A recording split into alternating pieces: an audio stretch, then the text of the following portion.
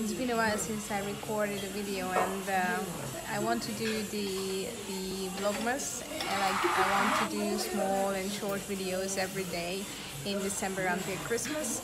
And today it's gonna be about what we gonna eat today and we came out to eat Hamburg Hamburg that's what you call these like little hamburger looking like patties and it's very popular in Japan. Let me just show you what I So this is the hamburg and you could also go with like uh, some kind of meat. So it's steak under the demi-glace sauce, some veggies, potato, rice, and here you can also get like uh, all you can eat soup and they got salad too.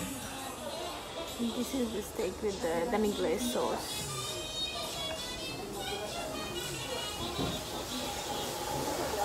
Mm. It's good.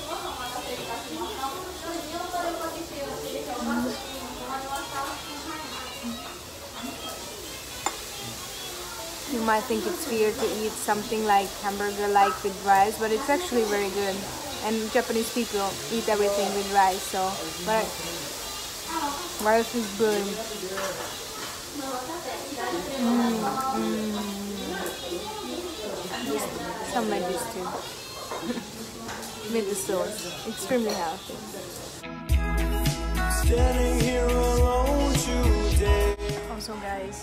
This is my first time eating corn pottage soup. Like it's like a corn cream soup. This one. And it's so creamy, so good. Actually you can buy it canned too in like a vending machine which is quite crazy and wild but I haven't tried it yet. Mm, so good. So the next morning I decided to make some cinnamon rolls for my husband. He didn't work that morning so I woke up early and made it fresh for him for breakfast. I love baking and it reminds me of cozy times from my childhood, especially when Christmas is coming up. In Hungary we bake a bunch of cakes and Hungarian style cookies for Christmas. I think I will record one of them because I'm planning to make some Hungarian style food and also something to bake for Christmas. So I decided to make the fillings half and half. Half was cocoa powder, the other one was with cinnamon filling with walnuts. I don't know about you guys, but I just get so excited when I work with yeast and I can see the dough rising. And yes, basically, I'm just gonna put some egg wash on top and then I will put them into the oven. So yeah, um, I no makeup, you know, out of bed. I started making this from 6:30 in the morning for my husband.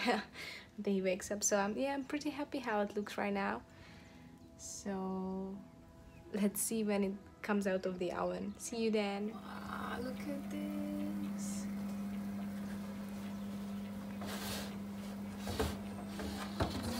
So good.